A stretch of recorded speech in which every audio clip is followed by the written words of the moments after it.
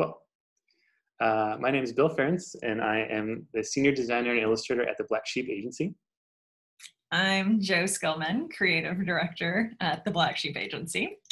And if you don't know Black Sheep, we are a brand strategy and creative agency with the goal of activating people around things that matter. We're also a B Corp. Yes. Uh, and this is the first in a series of design chats called Offset Path, where we talk about brands and creative campaigns that Jo and I have built for social impact. So, in spite of the coronavirus taking over literally everything and turning our lives upside down, you have hopefully seen something about another really big deal, which is the census. Census 2020, um, it only comes around every 10 years, and the data it collects helps determine our representation in government at all levels, and it decides funding for like tons of social programs and infrastructure projects all over the nation. Yeah. We're talking like disaster relief, um, parks, school lunch programs, Medicare, Medicaid, education, public transit, kind of everything. So it's stuff you've never thought of that might be relevant to you or your life is actually impacted by the census. And last year, Black Sheep was contracted by both the city of Houston and Harris County to create a creative campaign to help prevent an undercount. So Houston, like a lot of major cities, tends to undercount itself. And so we miss out on like an unbelievably large amount of money for that reason. It's like a thousand dollars per uncounted person every year, which is wild. So big deal, fill out the census. Um, anyway, Black Sheep collaborated with a bunch of partners to get this work, which I will list now, just in case they're listening, and because they're amazing people who handled all the other parts of making this campaign a success. And they are Lopez Negrete Communications, January Advisors, Knudson LP, and Possible Missions. And anyway, as I said, Black Sheep's part in all of this was to develop the creative campaign, which is essentially the messaging and the visuals. Yeah. Um, so I'm gonna try and share my screen so I can talk about this while we are doing this. Okay. Share. All right, let me know. You can see it? Yeah. Yes, okay. Um, so for the 2020 census for Harris County, we created the Yes to the Census campaign. Um, so as you can see here, the design, hopefully you noticed this, um, is all based around this giant Yes to Census 2020 word mark. And all the copy and messaging reflects this yes statement. So as you kind of like look through the materials, you'll see these yes statements um, repeated, like yes to healthcare, yes to representation, yes to communities. Um, they all kind of appear throughout the design work. Um, so it's kind of like a way to make the message build this momentum. Um, and you get to see what saying yes to the census really means. Um, so that's really cool. And then right away, hopefully you notice that we've used this bright yellow color consistently across um, all the design work. And then lastly, um, we were using photography of people and the city. So in this case, it would be Houston or images of Harris County.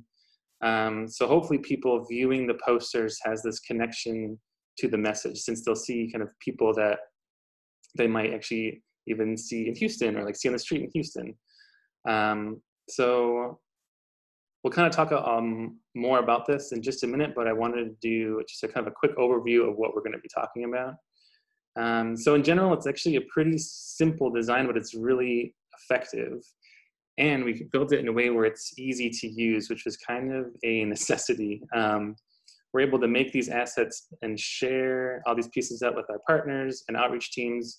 So they're able to take these pieces and actually make posters or postcards or kind of like for any sort of event they might be hosting, um, but they can kind of make their own design work and pass them out at, on the street or at an event. So that's what we've got to talk about. I'm gonna stop my sharing now and go back to you. Okay. Oh, thanks. Um, yeah. So what I consider to be our greatest talent, or like Black Sheep's greatest talent, is that we take this message that we define in a really easy to understand way and then we like explode it out into a million ways for it to speak to the community or to impact the community like accessibility relevance context within culture like we put a great amount of consideration into all of these things um, so, you know, it looks simple to see all at once, but we're going to talk as we go about how all of those things were considered. Yeah. Um, so I think that kind of covers the what and the why for the project. So I think we should talk about kind of the how we got there side of things. Um, and I'm going to start with that yes word mark that I was that I showed, and we can talk about. um, because the sense is about is about people and it's about humans. Originally, I had thought that it would be great to have a human element. So I was imagining this sort of handmade yes mark that would be painted or drawn out in like a bunch of different ways across all the pieces. So initially I had actually created the can painted this yes mark and it had a sort of like this nice human element. Um, it looked friendly, but it still kind of had some like edginess to it. Um, and Jo, I had showed it to you, and you told me this is this is a fun this is a fun mark but we want everyone to be united in this yes statement so we should look for something that's a little bit more uniform um, something that kind of works across all the communities um, and something that can be recognizable as part of the campaign because we're going to be need we're going to need to be using it in other languages yeah i mean when you factor in three languages other than English, and you have different yes marks.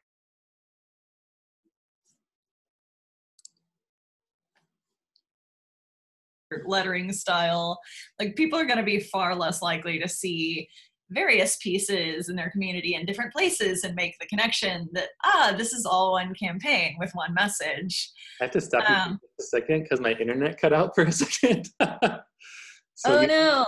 Have to repeat, um, maybe just um, not from the beginning, but just talking about how these are going to all be like one campaign with one message. Just so I want to make sure we actually have it recorded. have that in there. Yeah. Okay, got it. Sorry to interrupt. You're good. We want people to see the, or sorry, people are going to be far less likely to see these various pieces and kind of spread out in distant places and still make the connection that these are all one campaign with one message, which yeah. is what we needed them to do. So we're sitting there and we're both just like staring at Bill's screen and I've garbaged the one thing he was actually excited about. Yeah. and um, at this stage, the whole campaign is just a word and a photo.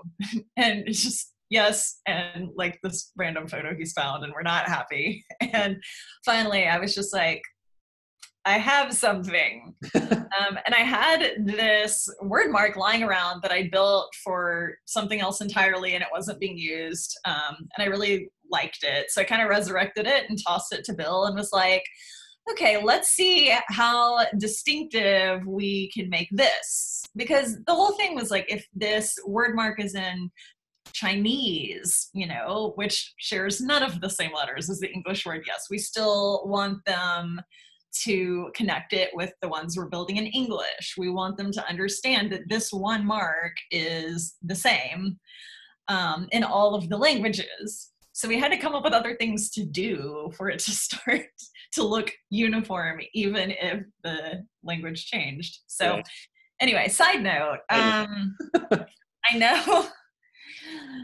I know that um, creatives sometimes get judgy about reusing old stuff from other clients or old ideas, but I am not one of those people. In fact, I think those people are super wrong because repurposing things is like the definition of creativity. All the stuff you've seen, places you've been, things you've read, people you've talked to, that is where ideas come from. Our ideas are not these epiphanies that explode into your consciousness from nowhere. They come from what you already have. So reuse what you have. Clearly, I get very preachy on this subject. Bill, you say something. um, well, yeah. So, like, I mean, this other word mark you had like you had sort of just like done a concept. We didn't actually use it for anything else. So I kind of like to think of it as like it's a sketch for something. Like I have a sketchbook and I keep a sketchbook of all my different ideas. And like, you know, some ideas aren't going to work for every project, but you kind of can look back at this backlog of things you can you have created and like see how you can use them for other things. So it's like it's a sketchbook basically. yeah. um, and also, I think originally you had maybe had that mark set on a, just like a straight line, um, but we actually set this on more like a diagonal path. Uh, so it's a little bit more distinctive and kind of like unusual, and it was sort of like a good place for us to start, like get this to get the idea moving. Um, and this is also where I learned the offset path effect in Illustrator, um, which is actually where we came up with the name for this discussion series. Um, yeah, I feel like this is she'll ever watch Family Guy, and there's that one episode where Peter is in a movie theater and he's watching a movie and he's like, oh, "They just said the name of the movie in the movie." Like that's what we've just done. Like this is where Offset Path came from. it's just it's. Uh, yeah, I mean, well, it's a cool name too. I think we can probably get into that, and maybe another episode we can talk about the design of Offset Path. mm, I like it. Okay. Um, but um, I also just wanted to point out that like I have been a professional designer for about 12 years now at this point, and I have had never used offset path until Jo taught me it. So everyone needs to stay humble in their careers because you're always going to be learning something. um, so right, we have this yes word mark. Um, we have it. It's a little bit more distinctive now, but then we kind of hit a wall again again. Uh, because now we had a very workable word mark and a photo and no other pieces and no deeper concepts to make this thing more interesting or more relatable. And so we're doing this useless thing that we do where like i stand behind bill and we both just stare at his computer screen. Yeah you, you take on the hovering art director role. Um, but you kind of pointed out like well what if we make this into a sticker uh, yeah, that was kind of our pivot. Um, I was just like, what? What if the concept is that we now think of our new super distinctive logo slash wordmark thing as a sticker? And you start to use it like people use stickers, like to show, show blah, blah, blah, sorry, to show support of something that they care about or something they're proud to be associated with. So, like if we put it on top of someone's photo, right. it's not just a photo or just a poster. It becomes like this endorsement that they're making. Yeah, um, that's kind of when the whole idea really started to solidify before that kind of like all we had was like one of those so simple it might be genius ideas but it didn't really didn't really quite have the legs to stand on at that point yeah and yeah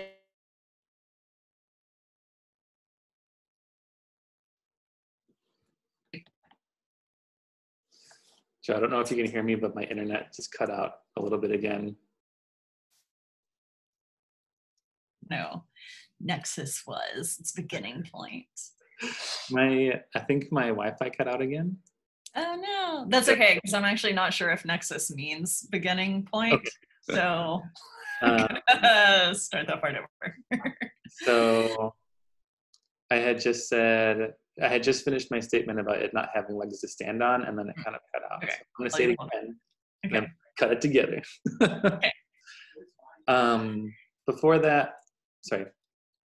Oh. Uh, that was kind of when the whole thing started to solidify.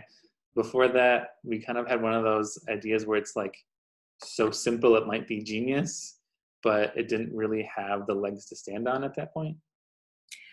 And we can say that it was one of those so simple it might be genius ideas because it was neither one of ours. Our content strategist, Alicia Sotelo, who was a poet that you can Google, um, was feeling inspired by Si Se Puede at the time, so that's kind of where it, it came from. Um, anyway, so we, we made our yes word mark always with an exclamation point, this engaging thing that could kind of live out in the world. Sometimes it's an actual sticker, sometimes digitally. It could be used by businesses, local politicians, school children, everyone. Yeah. And that's what we got really excited about was that the it could build a lot of momentum and it made it feel more like this like endorsement of action. So it's like, yes, I will be taking the census. Um, and the fact that it would be this cons- like have this, you know, it would be consistent and recognizable everywhere you see it. Um, people are seeing the same yellow. It's this like same distinct diagonal word mark and people are going to start making this connection that the census for Houston, for Harris County, is a positive thing.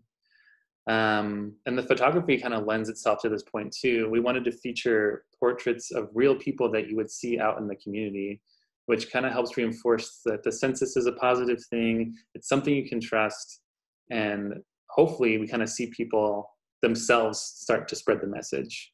Um, we kind of imagined it, you know, being everywhere. So we mocked it up to show kind of all these different things. Um, kind of one of the cooler ideas uh, was like a yard sign of that yes word mark, but all like the different languages. And we kind of imagined it being, you know, shared and used by everyone, but like seeing that specific yard sign in like a row of houses, I think kind of helped sell that idea. Um, because you got to see like how powerful it could be, but it was still just kind of a, a simple message. Um, it's actually kind of a good segue to talk about how we presented it. Um, so we had our first presentation with our partners in this project, and like when the first, so the first time we presented it, um, it was clear right away that this direction was the front runner. Um, the simplicity, the, the use of mostly real photos at the time, um, kind of just like helped really sell this idea. Um, and then even one of the research insights we were given really early on from our uh, friends at Lopez Negrete um, was just that people largely did not have a very good understanding of what the census is and what it's used for um, or what they could get out of it. So the idea is that like this had this simple message, like the simplicity of it had a lot going for it. Um, I also want to add that we presented a few different campaigns for this, and they were like campaign directions, um, and they were all like very cool and very different. And I would have loved to see like any of them out in the world, um, but people really seemed to kind of be interested and got attached to this yes message, like the yes campaign. Yeah, no one really had any changes or edits, which yeah. was wonderful, but also really surprising. Yeah. So the first presentations ended up being pretty easy, but I don't think at the time we realized how many times we would need to show the work. Y'all, we presented this so many times to the client, to the partners, to community organizations, to government committees. Like I think um, in every meeting, the phrase, you know who really needs to see this, kept popping up in every conversation. yeah. I mean, it is nice for people to recognize that the who and the how of a creative presentation really matters. So I appreciated that they wanted us to keep telling that story of why we built what we built and why we thought it would work. But there were so many meetings but it, um, it really made me see how many lives this could affect. Yeah that's that's a great way of looking at it and very true. Because um, when you're addressing houston and harris county you're not talking about a small city you're addressing literally millions of people. Um, so the campaign needed to think about the inclusion of that many people. And again um, i don't know if we mentioned this earlier but um, put that into the perspective of this pandemic we're going through right now. Um, we said earlier that the census can impact funding for things like disaster recovery, like when um, Hurricane Harvey hit. Now we're experiencing a crisis with job loss and overfull medical facilities. And the better we do with counting ourselves right now, the better we'll fare farther down the road when it comes to funding for these types of events. Like the census will impact events like this that happen. Yeah, that's really true. Um, and luckily for us, the census is actually online for the first time ever. It wasn't in 2010. uh, at 2020census.gov, along with a crap ton of other information. So it's an appropriate social distancing activity. um, it'll still come to your house via mail, no matter how you choose to fill it out um, by phone or whatever, because that's just how they do it. Yeah. Um, so if you've already filled it out and it comes in the mail, just ignore it, I guess. um, and you should definitely fill it out using one of those methods because at this point in our pandemic, no one wants a door knocker. Yeah. So they're not they're not still doing that, right? Or not right now, at least. Uh, yeah. They so they've definitely put them on hold. They're okay. not going back out until it's considered safe for okay. sure. But um, you know, fill out the census this month and any of the other ways, and you won't have to worry about it anyway, to pivot to more positive direction, I want to say that seeing this campaign out in the community has delighted my little designer heart. Um, back when we were allowed out in the community, um, I got to see it a lot. It's just so sunny and yellow, and there are murals, and there were events, and there are bright yellow T-shirts that people can wear with the Yes logo and the language of their choosing, which I loved. I love that they got those made. Um, all these groups and committees and organizations are using the bank of visual assets we built to share with everyone. Um, Mayor Turner has posted on social media using them. CBS actually talked about Houston in our census push a few weeks ago and showed a lot of the materials we built, and that was awesome. That was really cool. Um, we had some of those census shirts in other languages, and I uh, I mean, I, I, might have brought back the office, honestly, but I had a really cool one um, that was set in the Chinese word mark. It's just it's really cool to see how the campaign kind of shifts to be in other languages, but it still like feels super recognizable. It's really cool. I love seeing it. um, well, good so, job. Yeah. um, so I think we should talk about the stuff we learned while working on this because that's the fun part. okay. Yes. Uh, well, we learned about you and the offset path function in Illustrator. That's true. um, yeah, it, it's it's worth noting again that Bill has an illustration degree and I have a communication design degree, and we're constantly teaching each other dumb stuff in software that we should like maybe already know, even yeah. though we've both been employed as visual designers for ten plus years. um. Anyways, moving on from making fun of Bill, um, I was just kind of constantly surprised by the number of things that people don't know about the census and things I didn't know about the census. Like, I thought for some reason that only permanent citizens needed to fill it out.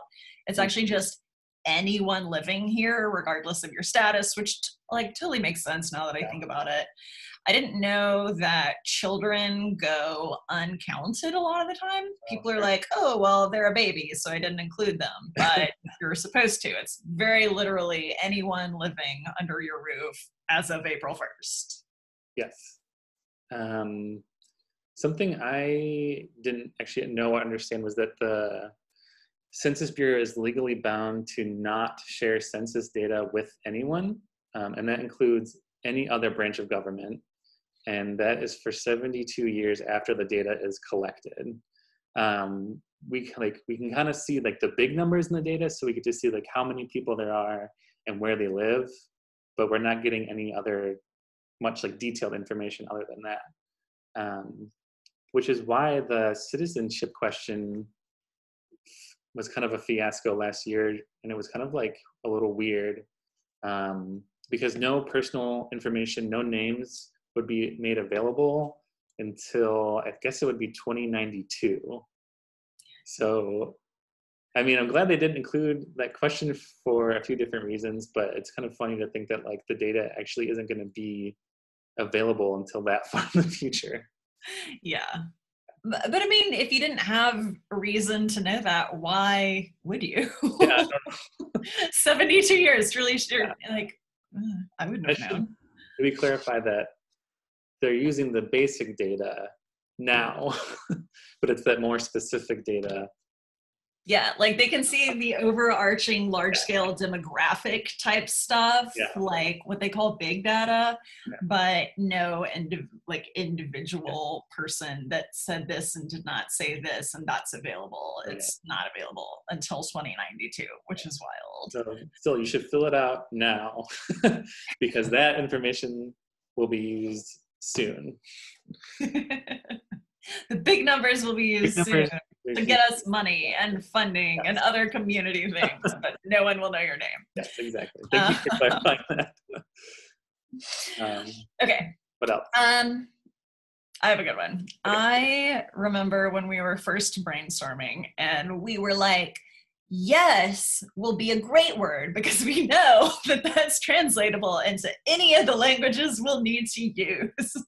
so we did, we handled Chinese, Vietnamese, Spanish, and English were the four languages that we produced everything in. Um, and maybe other organizations use the assets we built to produce things in even more languages. Um, but we were like, surely everyone has a word for yes, so this will be a good thing to call the campaign. Oh my gosh. So we were wrong.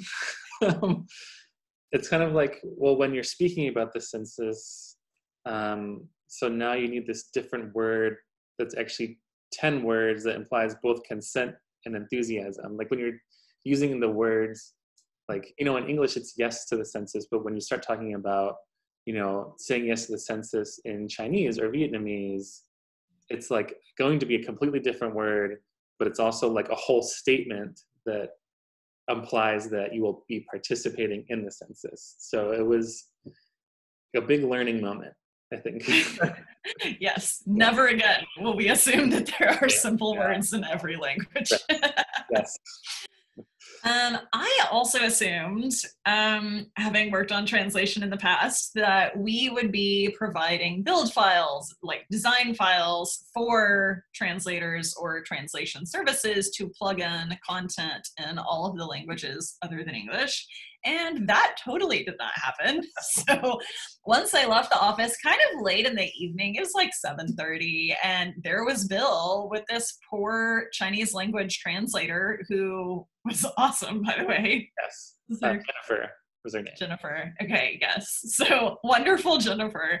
Just like sitting by Bill and looking over his shoulder and like helping move symbols around and proofread because obviously we sure as heck can't do it. Um, and there were some interesting learnings about color too, both the cultural symbolism and then the literal Yeah, printing of it. Yeah, definitely. Um, there were a few discussions about like using yellow and if like creating materials targeted at specific audiences, like if we should change the color. So at one point it was like we're gonna use yellow and everything, but then we kind of learned that like yellow interprets a different way in the Chinese culture. And then someone suggested using red. And so we kind of had this back and forth a little bit about like, do we keep the yellow color? Should we change it? Um, so in the end, we ended up just kind of going with yellow color. We did a lot of testing and focus groups with like everything. Um, so we kind of had a lot of input and feedback to base our decisions on, but it ended up being a pretty big topic of discussion. Um, so there was that on that side of things. But then on the technical side of things, um, we knew people would be printing these in kind of a bunch of different scenarios, like at home, in the office. Um, so we ended up using 100% yellow and 100% black um, in the art and in the design, just so it could look somewhat consistent across the board. Um, and somewhat consistent is like what we ended up with. That was Yeah. a good price. Um, it's amazing the number of shades you can get out of what is supposed to be 100% plain Yeah. yellow ink, which comes default in most every home printer. Um, but s- something we had to do specifically with this campaign was essentially to mistake proof it. Mm. Designers don't usually have to build things that much for non-designers to use where they don't have the same software you have or any of the tools that you're using or like fonts are a big challenge that kind of thing Yeah.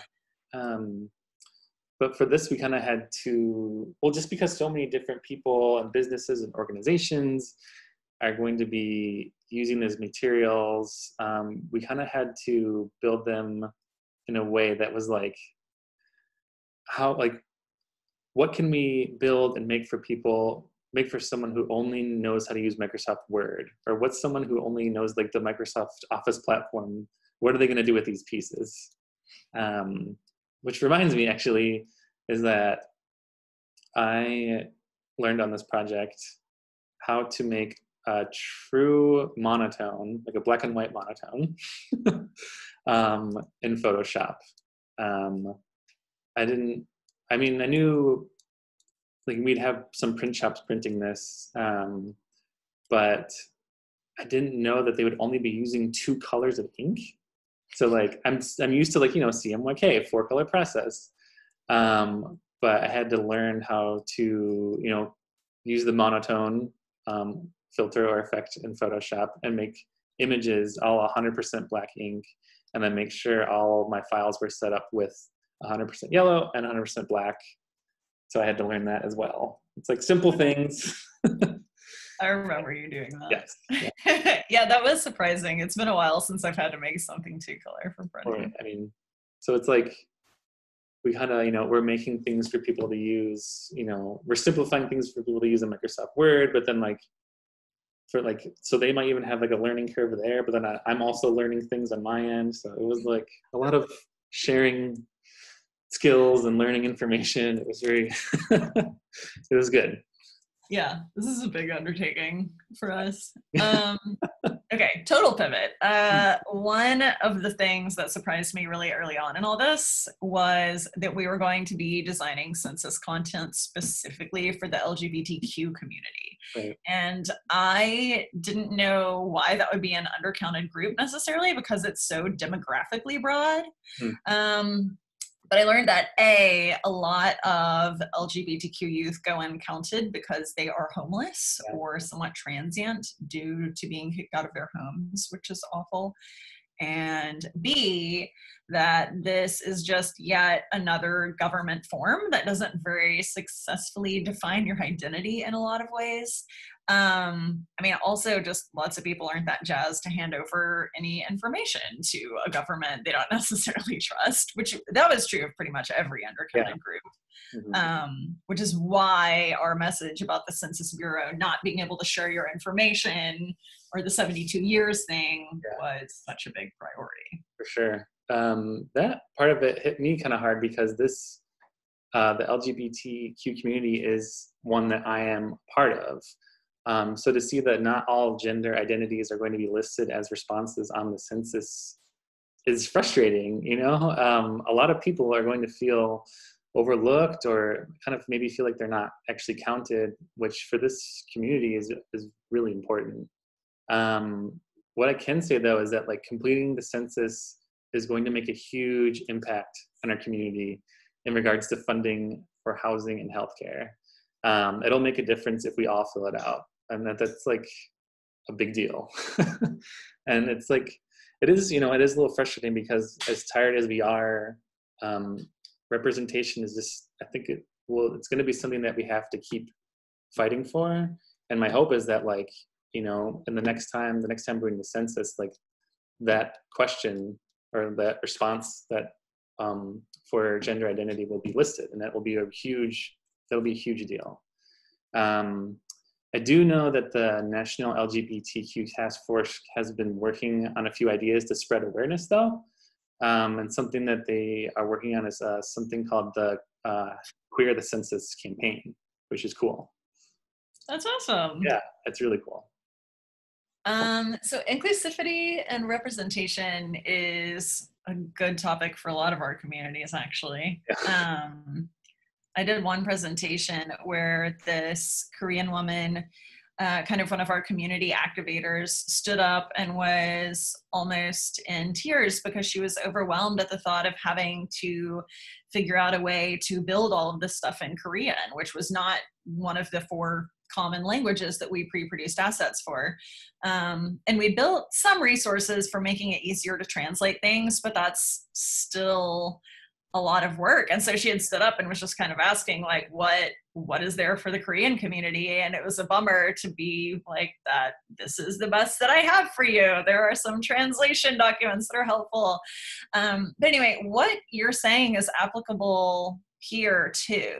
If the community that you belong in has not historically been that visible on the census, the more people you can get to count themselves, the better your odds are of having the federal government include more languages next time or be more considerate of people's, you know, various experiences or challenges. Yeah, that's that's really important to say. Um, something we learned kind of the hard way is that there was not at the time we started building this at least uh, a dependable location for all the questions we had about the census. Um, there was a seminar early on actually with the census uh, with the census employee who flat out told us that people wouldn't be able to define non-hetero relationships on the census. But when uh, everyone on the team at Black Sheep started taking the census or filling it out online, we realized that you could.